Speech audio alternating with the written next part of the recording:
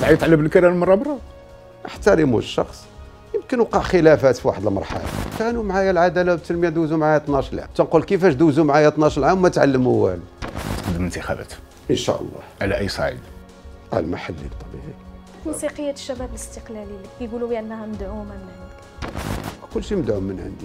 شنو كاين غير شباب في هذا الحزب واش كتجيك منطقي على بعد شحال؟ ثلاث ثلاث شهور ولا أربع شهور ديال الانتخابات كنشئوا تنسيقية. وشنو هو المانع عندك أنت؟